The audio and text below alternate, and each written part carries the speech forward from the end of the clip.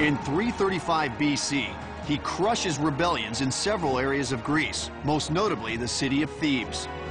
Alexander takes the city and razes it. It's an absolute shockwave that goes through the Greek world. Thebes is one of the great and most prestigious of the Greek city-states, and now it's gone. 6,000 Thebans are slaughtered in one day. This ruthless action demonstrates Alexander's psychological advantage over his enemies. He was capable of doing anything at any time, so he's impulsive, and that gave him sort of a sense of deterrence among his enemies that you never knew what he would do. Under his command and feared by all is an army of the best trained soldiers in the world. At 30,000 strong, they are a force unlike any other. Alexander didn't worry what the enemy was going to do to him, he worried what he was going to do to the enemy. And that's a very different mindset. Alexander inspires his soldiers with both his confidence in their abilities and the camaraderie he shares with them. They had a love for Alexander, and they would follow and do anything he asked them to do. But he never asked them to do anything that he didn't do himself. Over the next two years, from 334 to 332 BC, Alexander leads his army across modern Turkey. In each battle, he is victorious. But the siege of Tyre is a very different fight. He has yet to conquer a fortified island city half a mile at sea.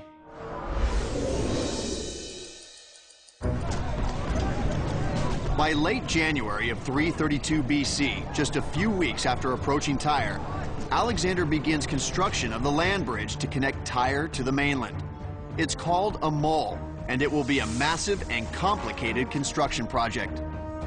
The process of building the mole was creating some way to contain the earth that was being dumped so it didn't spread out on the seafloor and get washed away.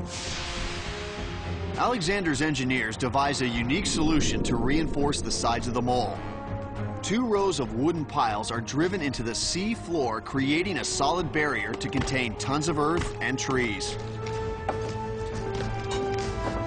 But it must have a surface that is uh, flat enough to roll the engines of uh, siege warfare over. So you have planks, you have wood. It's a combination of rock and wood, fundamentally, with filling matter.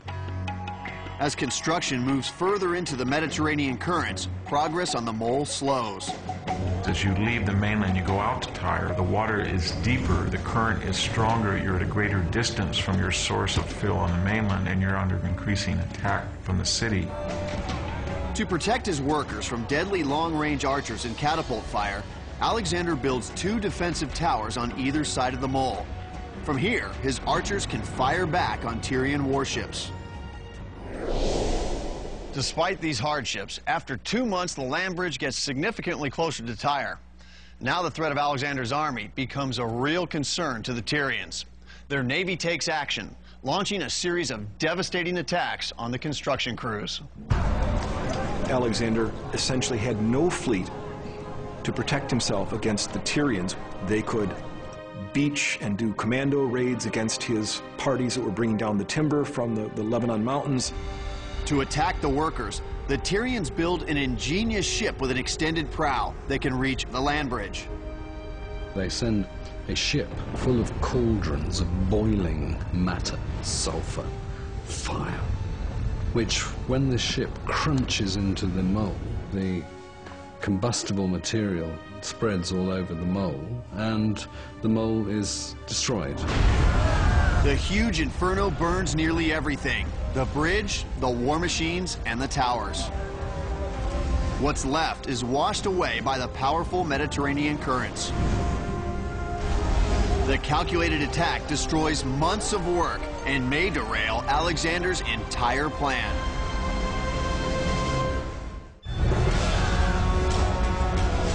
March 332 BC. Alexander the Great is two months into his siege of Tyre. When the Tyrians destroy his causeway to the city and decimate his battle strategy. His campaign to conquer the known ancient world is now in a holding pattern. Alexander, for one of the few times in his career, finds himself befuddled. And in fact, actually thinks about giving up. But only briefly. Alexander is just not a quitter. Uh, he's the sort of person who, when he's faced with a challenge and what seems to be failure, seems to dig down deeper and to dig in his heels even more. Alexander decides to rebuild the mole. This time he'll construct it at an angle to protect it from the strong Mediterranean currents. In addition, Alexander realizes he must now use the navies of the Phoenician coastal cities he's already conquered to protect his workers during construction.